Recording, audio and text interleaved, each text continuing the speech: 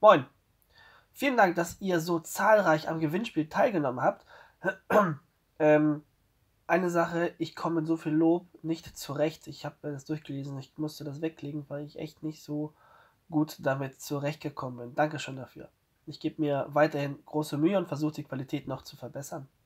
Ihr habt mir auch sehr viele Ideen geliefert, auf die komme ich jetzt auch gleich. Äh, am Ende des Videos gibt es dann das äh, Gewinnspiel und da komme ich auch noch später detailliert zu. Aber jetzt erstmal gehen wir mal die Kommentare durch, äh, was euch dann erwarten wird in den nächsten Monaten. Ich habe die Kommentare zusammengefasst, also herauskopiert mit einem Programm. Dann habe ich die ähm, versucht zu clustern. Also wenn der eine was über ein Moorbeet haben möchte, dann Thema Moorbeet, der andere will über Pflanzen was haben, dass es so ein bisschen ähm, in Gruppen ist, dass es gruppiert ist. Jetzt gehen wir es mal äh, durch. Also ich habe einmal, also ich habe einmal für Anfänger, Jemand mit den Pflanzen für Anfänger. Äh, da habe ich schon ein Video zu. Äh, das verlinke ich dir. Ich versuche es mal hier in der Ecke zu verlinken, beziehungsweise ich äh, verlinke es dir in der Beschreibung. Aber ich glaube, es wird Zeit, langsam ein neues zu machen, weil es auch schon mittlerweile zwei oder drei Jahre alt ist. Äh, diverses habe ich hier. Äh, Karnivoren und Aquaristik kombinieren. Ja, muss ich mich mal reinlesen. Da bin ich noch überhaupt nicht drin in dem Thema. Äh, Mikrofon benutzen. Hi. Äh, ich hatte das, ähm, durch den Umzug hatte ich das irgendwo im Keller. Ich habe es einfach nicht mehr gefunden. Aber danke für den Hinweis. Wetterauswirkungen, Vor- und Nachteile Indoor-Outdoor-Kultur. Ja, das ist auch interessant, wie man ähm, eventuell automatisiert ähm, sein Moorbeet oder Kübel, eher Moorbeet, Kübel kannst du schnell unter, unter das Dach schieben, ähm, sein Moorbeet schützen könnte vor Hagel und Starkregen. Das war auch eine gute Idee. Ähm, wie versendet man Pflanzen? Ja, da könnte ich auch äh, ein gutes Video machen, wie man halt eben von Pinguicula, also diese ganzen kleinen Pflanzen, und auch wie man ganz große Pflanzen versendet. Das ist eine gute Idee. Thema Morbid. Bau eines Morbids. Äh, ja, das werde ich machen. In Westerholz habe ich ja ungefähr 3 mal 3 mal 2 Meter, so ein Dreieck in etwa. Und das wird ein richtig cooles Morbid werden. Dann nehme ich euch auf jeden Fall mit auf die Reise äh, Beetrand ein natürlich aussehen lassen. Ja, das nervt mich auch immer, zum Beispiel, wenn man die ganzen Gartenteiche sieht, dass die, ähm, sieht man immer die Folie daraus gucken, das, ähm, das, das gefällt mir ganz, gar nicht. Immer wenn ich so einen Teich sehe draußen, also äh, Teich sei schon, einen kleinen See, Tümpel, das sieht sehr schön aus, weil das da hineinwächst. Und so möchte ich das auch gestalten im Morbid. Äh, einmal Fokus auf Utricularia. Ja, das stimmt. Es gibt wenig Videos über unsere, über die Reusenfalle. Da könnte ich mich auch mal mit auseinandersetzen. Äh, ja, Morbid anlegen ist hier auch. Mit einem Bachlauf, Bauch, äh, Bachlauf integrieren. Darlingtonia muss ich mich auseinandersetzen, ob die ähm, winterhart ist. Ich glaube nämlich nicht, aber ich schau mal. Aber diesen Bachlauf möchte ich auf jeden Fall drin haben. Hm. Vogelschutz, ja, es ist genau wie gerade eben meine Wetterauswirkungen. Äh, einen Vogelschutz könnte man auch äh, installieren, der hübsch aussieht, muss ich mal gucken, weil so ein Netz, naja, sieht blöd aus. Und ob man da jetzt so mit blinkenden CDs oder mit Tönen oder sonst irgendwas, muss ich mal gucken. Hier ein Wasserbereich im Morbid. Ja, das, äh, wie gesagt, Bachlauf integrieren, das hängt zusammen. Das wird. Ich habe schon richtig coole Ideen. Äh, Schutz der Pflanzen im Morbid bei Starkregen oder Hagel. Ja, ist genau wie diese Wetterauswirkung. Wasserbereich im Morbid, Kübel, Wasserbereich im Morbid. Ja, alles klar. Ihr wollt Wasser im Moor. Mache ich. Dann äh, Thema Moorkübel. Einen Moorkübel anlegen. Ja, könnte ich machen. Ich habe das möchte ich auch äh, von meinen Gewächshäusern in der Gärtnerei, die ich dann habe, möchte ich dann äh, auch so schöne Moorkübel stehen haben. Sieht bestimmt auch richtig cool aus. Ähm, Tipps für Moorkübel kann ich machen, wenn ich das dann baue. Äh, einen Themenkübel bauen. Florida, South Africa, Carolina. Geile Idee. Habe ich noch nicht dran gedacht, dass man so ein, so ein Themending bauen könnte. Hm werde ich machen. Äh, Zu meiner persönlichen Entwicklung, ähm, ist ein Thema, ähm, meine gesamte Sammlung zeigen. Ja, das können wir machen, aber das erst, wenn ich umgezogen bin. Und ich weiß nicht, ob man das im, im ähm, ab Oktober, September kann ich das machen. Die Pflanzen sehen da alle nicht mehr so schön aus. Ich glaube, das wird ein längeres Projekt. Das ähm, das müsste im Frühjahr dann starten, beziehungsweise bis Sommer gehen, wenn ich alle Pflanzen ihre vollen Blüte, wenn sie schön aussehen, aufnehme. Ich denke, das kommt nächstes Jahr. ähm, den gesamten Garten und Standort eingehen.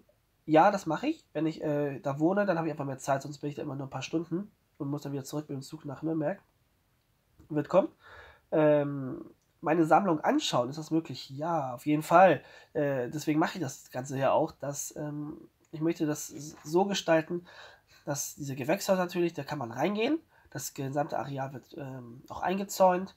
Ähm, da kommt eine Sitzecke hin, Kühlschrank mit bayerischem Bier und vielleicht auch Tee, Wasser, also Radler. Ähm, auf jeden Fall kommt dann vorbei. Das äh, muss auch überlegen, wie ich das mache, weil ich das ja auch äh, teilselbstständig mache. Ob es bestimmte Öffnungszeiten gibt, dann könnt ihr, glaube ich, jederzeit kommen und wenn nicht, dann einfach anrufen, äh, eine WhatsApp schreiben oder sonst irgendwas und äh, Kontakt aufnehmen über E-Mail und dann kriegen wir schon einen Termin hin, wo ihr mal vorbeikommen könnt. Da es ja eine Urlaubsregion ist, bietet es sich ja auch an, wenn ihr mal dort in der Nähe campt oder nach, nach äh, Dänemark fahrt, dann könnt ihr auch mal vorbeikommen. Aber ich glaube, ab Herbst ist da nicht mehr so, ist, da ist noch nicht so viel gemacht. Ähm, also nehmt mal äh, nächstes Jahr Frühling als Starttermin für einen Besuch, der sich auch lohnen würde. Ja, was ist aus dem Helium vorher geworden? Hm, schlechte Nachrichten. Zwei sind eingegangen und die dritte hat zwar einen Krug ausgebildet, aber ich habe das Gefühl, da wird kein neuer kommen. Die sind alle an Wurzelfäulnis äh, verendet, am Fäulnis, an einem Fäulnispilz. Äh, wie lange mache ich das Hobby und wie kam ich dazu? Ja, ähm, ja, das kann ich auch mal ausführlich machen. Wenn ich dann bei mir in Westerholz im großen Gewächshaus sitze, in der Sitzecke, dann kann ich mal detailliert drauf eingehen. Ja, okay. Äh, Begleitpflanzen, Moororchideen. Ja, habe ich schon seit zwei Jahren vor. Ich bin dazu nicht gekommen. Äh, Beiträge bei Drosera. Ja, ich würde gerne über Knollendrosera ein bisschen mehr in Erfahrung bringen. Dann äh, Dionaea Indokultur ohne Überwinterung laut äh, internationaler Karnivoren Pflanzen Society. Ähm, ja, meine Meinung ist, ich habe mich noch nicht ganz genau damit auseinandergesetzt, aber meiner Meinung nach sollte man das natürliche Habitat ähm, ähm, sollte man es bieten, dann wächst die Pflanze auch am allerbesten, weil sie sich schon seit tausenden Jahren daran gewöhnt hat. Daran die Evolution statt, äh, fand statt. Ähm, ich werde darauf eingehen. Ja, bis wo war ich jetzt? Meine Dionaea-Sammlung zeigen. Ja, zwei Drittel ist jetzt äh, ist, ist zwar noch hier, der Rest ist in Westerholz, also wird nächstes Jahr. Äh, Pflege von Roridula, Gorgonias oder Darlingtonia. Ja, die Pflanzen habe ich leider noch gar nicht. Ähm, ich werde sie mir besorgen und sie mal kultivieren, aber ich möchte keine Kultur- und Pflegehinweise geben über Pflanzen, von, äh, die ich gar nicht habe. Deswegen, ich denke mal, das kommt leider erst nächstes Jahr im Herbst, wenn ich die Pflanzen habe und äh, Erfahrung sammelte. Semmlinge von Keimung bis zur adulten Pflanze zeigen. Das kann man sehr gut mit äh, Saracenia machen. Dauert halt eh nur drei, vier, fünf Jahre. wenn man halt dieselbe Pflanze nimmt, ähm, wenn man unterschiedliche Stadien zeigt, dann geht es auch schneller. Drosera geht wesentlich schneller, das sind ja meistens ein, zwei oder dreijährige Pflanzen, die wachsen schon schnell. Intermedia zum Beispiel kann man da ganz gut nehmen. Ähm, winterharte Drosera, ja, da gibt es nicht sehr viele, aber da kann ich auch mal einen Beitrag zu machen. Wissen zu Moororchideen und Schlauchpflanzen. Ja, Schlauchpflanzen habe ich ja schon viele einzelne Beiträge. Die findest du hier auf dem, äh, auf dem Kanal, beziehungsweise auch im Blog. Äh, Moororchideen als Begleitpflanze fehlt natürlich noch. Schädlinge. Schädlinge vorbeugen und bekämpfen. Ja, das ist auch so ein leidiges Thema. Ähm, hier haben wir über Blattläuse und Schnecken. Ähm, schauen wir mal, wie das jetzt in Westerholz sein wird.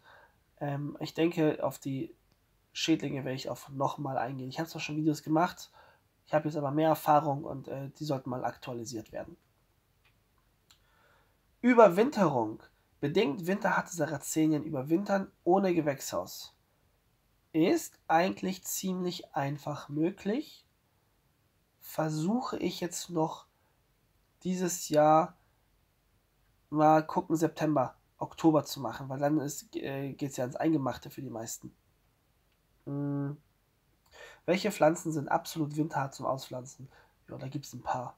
Sind meistens aber sehr langsam wachsende und kleine Pflanzen, aber die gibt es. Überwinterung meiner eigenen Pflanzen. Ja, das äh, werde ich euch zeigen. Jetzt, wo ich in Westerholzland wohne, werde ich euch zeigen, wie ich die alle überwinter. das äh, passt ganz gut. Ich denke, das Thema kommt dann auch vielleicht mit zusammen mit bedingt Winter hatte Sarazenien überwintern und Überwinterung meiner eigenen Pflanzen.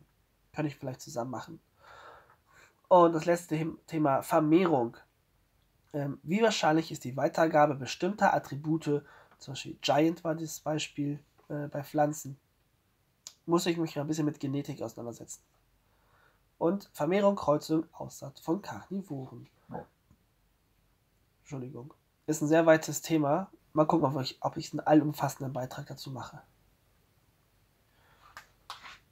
So, das waren jetzt auch alle Themen, äh, die angesprochen wurden. Ich werde mir jetzt mal einen kleinen Fahrplan ausdenken, was ich zu wann mache. Und dann versuche ich, dass es regelmäßig Videos gibt, die das alles abhandeln.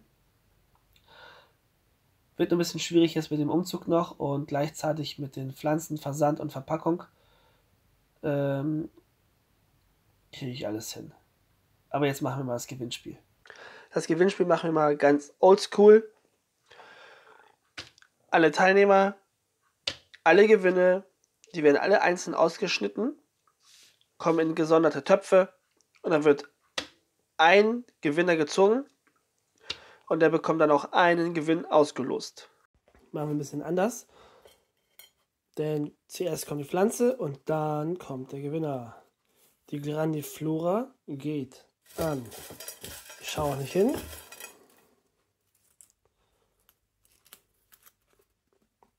Thomas Borg 2722.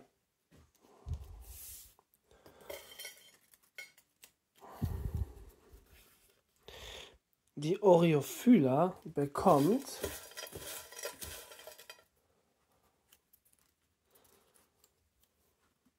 René Geuting 4889.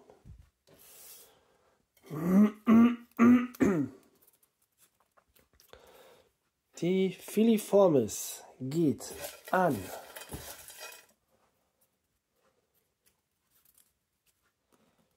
Pilates bei Patricia.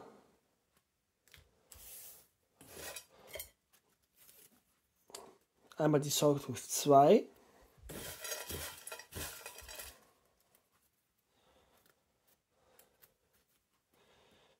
An den User Crypto.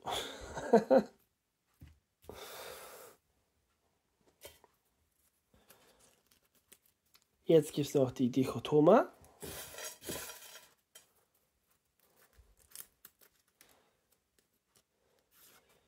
An Andi K9128.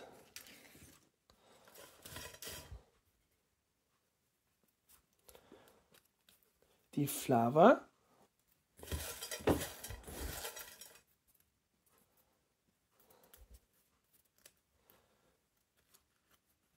ein Voreifel-Karnivoren. So, zwei sind noch im Rennen. Die Leucophylla Walton County.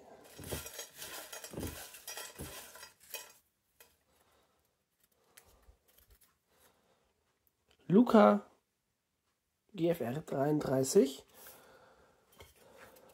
und die Rubri Subspecies Veri geht an